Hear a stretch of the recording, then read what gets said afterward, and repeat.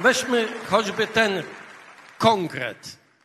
Konkret, który jest tak naprawdę pozytywną rewolucją podatkową. On się nazywa w sposób skomplikowany, być może. Mówimy tu o kwocie wolnej od podatku podniesionej do 60 tysięcy złotych.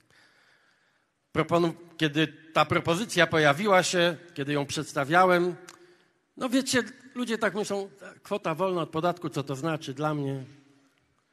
Ten konkret, który przeprowadzimy w ciągu pierwszych 100 dni, oznacza, i teraz bardzo proszę wszystkich o uwagę, bo to jest zmiana absolutnie zasadnicza.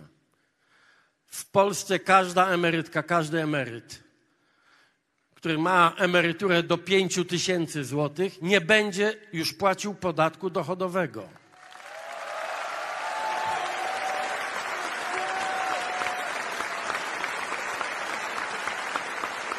A ci, którzy mają emerytury wyższe, zapłacą ten podatek, ale w o wiele mniejszej skali, wyraźnie, wyraźnie niższy.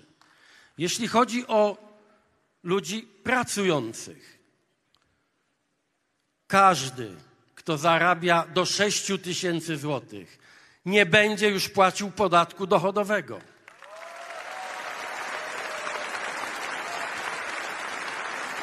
A ten, kto zarabia powyżej 6 tysięcy złotych, będzie płacił wyraźnie niższy niż dzisiaj podatek od dochodów. To oznacza dla tego, kto zarabia na przykład te 6 tysięcy złotych, wyobraźcie sobie tę rodzinę. Ona nauczycielka, on właściciel mojego warsztatu samochodowego.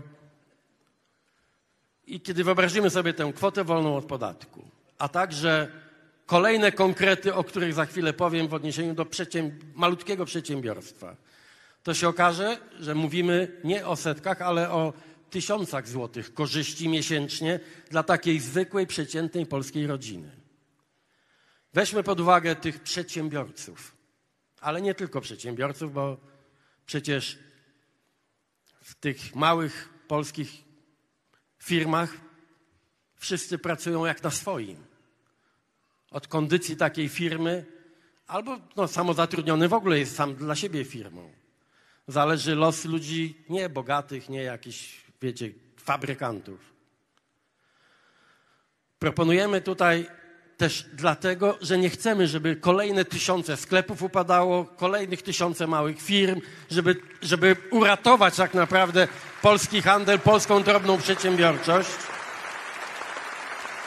Więc w ciągu pierwszych stu dni wprowadzimy przepis, zgodnie z którym za chorobowe od pierwszego dnia choroby pracownika płaci ZUS, a nie przedsiębiorca.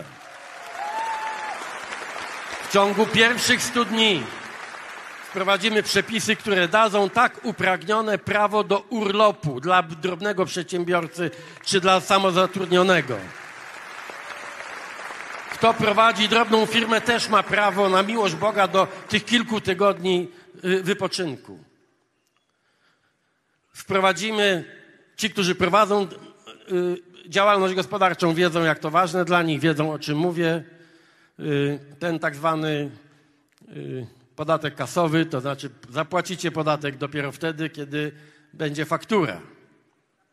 Zapłacona, tak.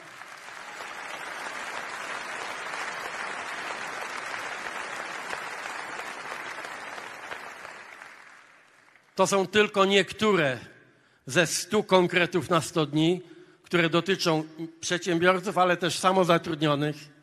To jest i pielęgniarka, to jest czasami i nauczyciel, to jest ta, ta jednoosobowa działalność gospodarcza. Wszyscy oni odczują taką zasadniczą i uprawnioną ulgę w ciągu tych stu dni. Nie mogę, chociaż o tym będą mówili kolejni mówcy, ale nie mogę tu nie powiedzieć o kobietach polskich. Nie będziemy czekać dłużej w ciągu pierwszych stu dni odbudujemy ten jakby świat przepisów taki, który godność polskiej kobiety znowu wyniesie do rangi jednej z, jednych z najważniejszych w, całej, w całym życiu publicznym. Polskie kobiety będą miały prawo co chyba wydaje się zupełnie oczywiste, te, które będą spodziewały się dziecka, będą mogły liczyć na to, że w szpitalu czeka je opieka, pomoc, taka lojalność ze strony państwa, ze strony szpitala wobec tej kobiety. Każda kobieta będzie miała prawo do bezpłatnego znieczulenia przy porodzie.